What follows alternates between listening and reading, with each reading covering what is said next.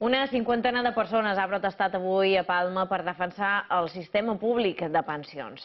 Concentrats a la plaça d'Espanya s'han mostrat contraris a les recomanacions del Pacte de Toledo i a la privatització de les pensions a través dels plans d'empresa. A més, han reclamat que les pagues mínimes de jubilació siguin de 1.084 euros, una xifra del 60% del salari mitjà espanyol. La coordinadora per la defensa de les pensions públiques recorda que aquesta qüestió no afecta només els jubilats.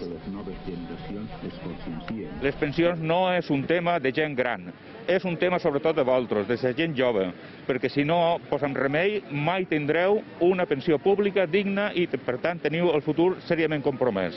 En aquest sentit, nosaltres tenim unes reivindicacions que avui posem en marxa. Volem que la pensió mínima, tal com marca la Carta Social Europea, sigui de 1.084 euros, que és el 60% del salari mitjà en l'estat espanyol.